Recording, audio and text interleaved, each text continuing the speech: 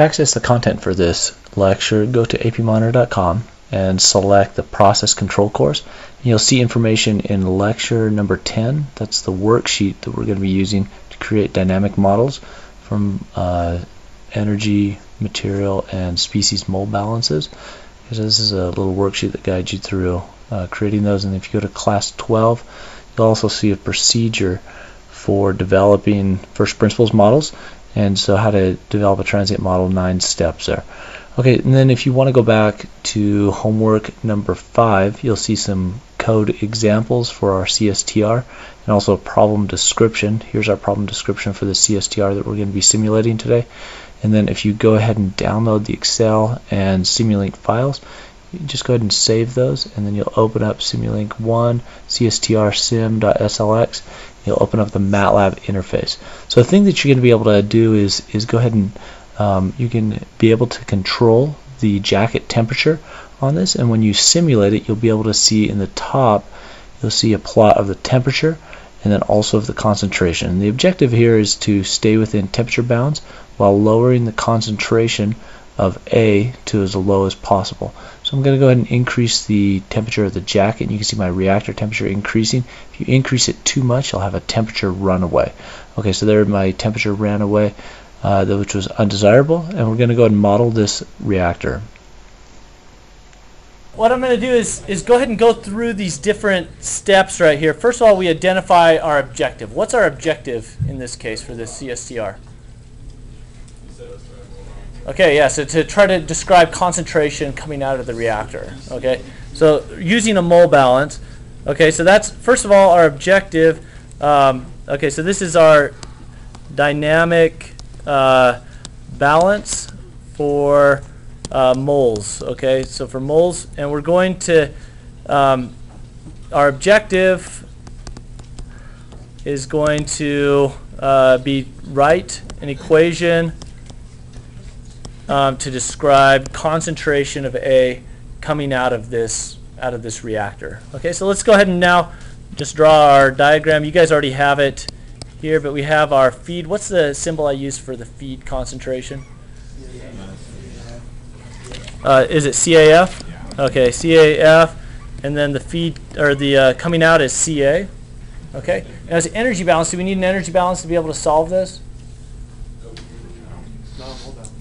Okay, let's go ahead and derive it and then figure out if we need anything from the energy balance or if we can just solve this equation independently of the energy balance. Okay, so we have, um, and then we also have some assumptions. Okay, so what are our, our assumptions here? Did somebody say steady state? Oh no, no, no steady state. Okay, maybe steady state for the volume in the reactor. Okay, so the volume doesn't change in the reactor. Um, but for the concentration, um, that doesn't change. That is going to change with time. Okay, so we can't just assume steady state. We leave the uh, if we assume steady state, then the accumulation term would go away. Okay, um, so assumptions. Um, I'm going to write that one volume um, is constant. Okay, so we have good level control there. Okay, so let's say I have a uh, level transmitter, uh, level controller and then the uh, maybe a valve here that's that's controlling that, and that's controlled very well, so the level doesn't change in that reactor. Okay, so volume is constant. Okay, any other assumptions you guys want to make with this reactor, Logan? Okay, well mixed. Okay, good. Okay, so what does that mean? The CA. Okay, good. So CA in the reactor um, equals CA out. Okay, good. Okay, so that's another assumption. Any other assumptions you guys want to make? First order reaction. Okay, first order reaction. Okay, first order uh, reaction. Okay, any others you guys can think of? Okay, so yeah, you have a cooling jacket here, and then that's uh, maintained at temperature, uh, you know, of the of the cooling. But that's going to change, right? You guys did a homework problem where you were able to change that value and try to control the concentration and temperature in the reactor. Okay, so that one may vary. Okay, okay. So let's go ahead and do the next step now. What is the next step in developing our uh, our energy balance or our uh, our balances? Okay, spatial dependence. Does this have any spatial dependence? no spatial dependence, so it's going to be an ODE. Uh, now let's go ahead and write our balance. Okay, so here's our balance equation. I always like to just start with, um, there you go. So this is going to be in and out, and then plus n dot uh, generation minus n dot consumption. Okay, and then I can just fill in those terms. All right, and you'll do the same thing with mass as well, just be m dot and dm dt. Um, okay, so now what I'm going to do is go ahead and figure out what NA n dot an is. Okay, so what is that going to be in this case? Okay, so we know that n equals um, CA times what? Volume. Okay, so that's going to go uh, right up there. And then we have NAN. And what is that going to equal? Okay, so that's going to be uh, CA feed times, what's the uh, Q? Okay, Q is the volumetric flow rate. Okay, you could also put V dot there as well if you wanted to put that. Okay, and then what is the NA out? Okay, so CA times Q. Okay, and then what about generation or consumption? Which one are you going to have there? You're going to have consumption, right? Because you're reacting from A to B, um, and A is going to be consumed. Could you also write the species balance for B as well? Okay, you could. You could write one of the two. Would you need both of those? Not necessarily. Okay, not necessarily because you'd know that um, that uh, well you'd have to relate A to B in terms of concentration. Okay, so um, generation it's an irreversible reaction, and so we just have the consumption rate. Okay, so NA consumption, and what is that going to equal? Okay, so this is going to be my reaction rate of A times the volume. And then I've got another equation now, which is now reaction rate of A equals what? Yeah, so you have the K naught EXP negative E over RT. Okay? So you have all of these equations that you can just substitute back up into this main balance equation if you want, or you could just keep them separate. Okay, but now you have your dynamic mole balance for A. Okay, so um, let's see, is there anything else we need on this one, or are we done? Okay, Um, with the reaction term, don't need to be timesing that by? Very good. Yeah, we do need concentration in there. I forgot about that. Okay, yeah, so we need, it's a first order reaction. You also need concentration in there. This would constitute a K value. Okay, K times CA. Okay, good. Good catch on that. it negative K or, I'm having a hard time remembering my CRE. Well, you've defined it as consumption, so that when you plug it in here, this is going to be a negative sign right here. But yeah, you definitely want to make sure that you have the sign right. Um, so it's it's consuming it, so it's going to the accumulation is going to go down if you're consuming it faster. Okay, if you're consuming that. Okay, good. Um, let's go and do the um, energy balance now. Okay, so we have our energy balance that we want to write um, on this. We want to write our envelope first. Where's our envelope where we want to have our accumulation in and out? Okay, this is, this is going to be an important part because we have our jacket now as well.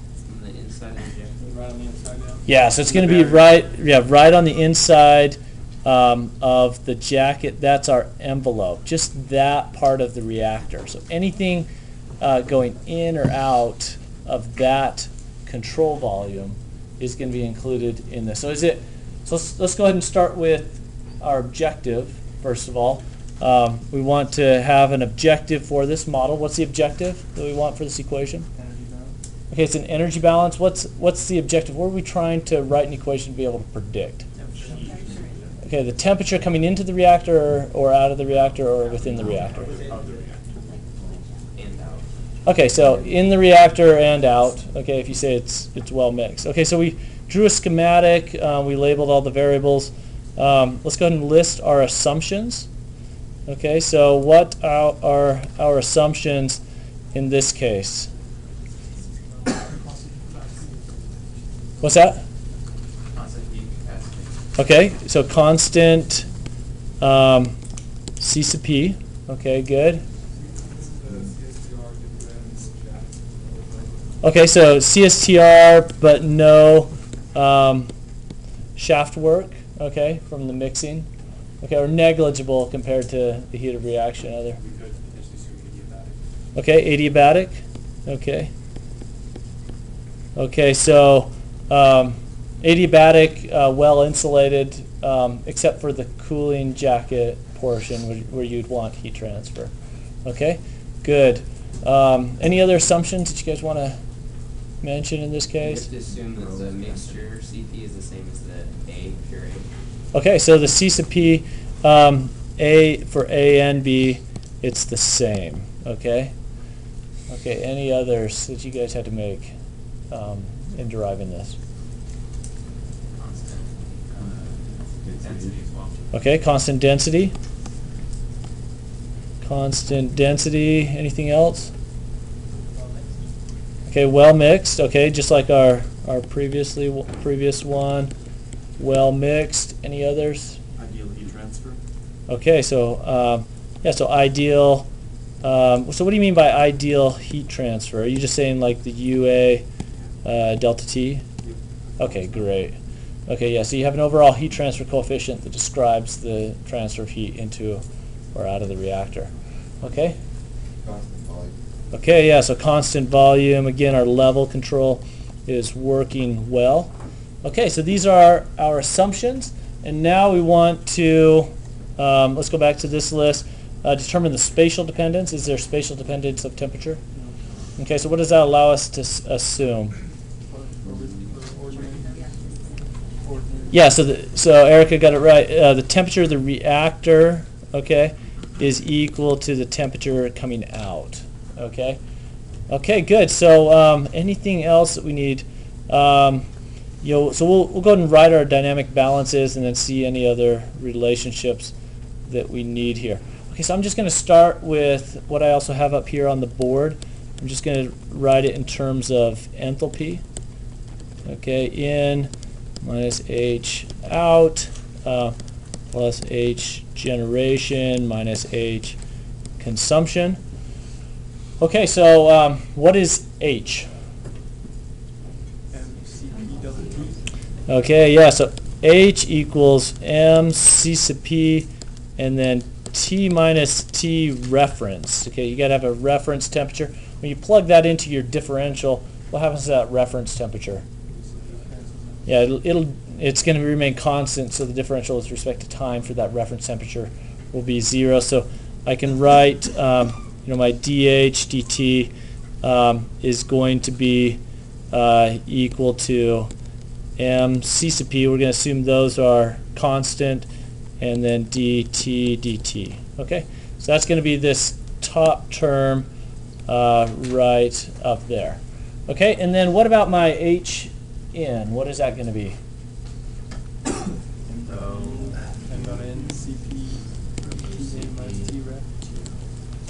CP, okay, and then we have uh, T in minus T ref. Okay, and then what about out? M dot C sub P T out minus T ref. Okay, so um, when I combine those two, um, then I can just do H in minus H out. What's going to happen to the T ref in that case? And then when I combine those two, I have H in minus H out. That's going to be M dot C sub P and then T in minus T out. And the H ref is just going to go away. Okay, so this part right here, I can just put right up there in the uh, H in, H out area. And then what about generation or consumption? How, do we need one or the other term? We need both of them. Somebody said both of them. Okay. So um, what is my H generation?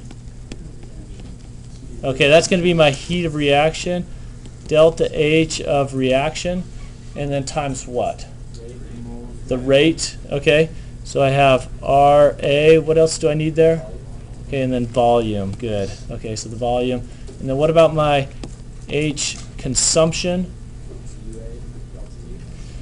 Okay, so UA and then delta T. So let me write out the the temperature and the te- temperature of the cooling jacket. What do, So what do I need to do?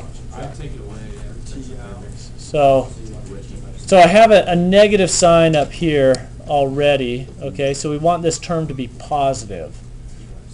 Okay, so it's going to be T. Okay, great. And if I had a positive sign up here, then I would just write that TC minus T. Okay, but you want to make sure that you think about should this be a negative term, negative quantity, or a, a positive quantity. Okay, so I put all those together, and then I have my energy balance. We now implement these transient equations into a model predictive controller that's going to optimize the jacket temperature to achieve a certain set point in the reactor. You can see it increases in the blue. It increases the temperature of the jacket, then decreases it as the temperature starts to rise and then levels out at a certain value. No temperature runaway. It was able to control the temperature in the reactor and minimize the concentration. Visit apmonitor.com for more material on process systems engineering.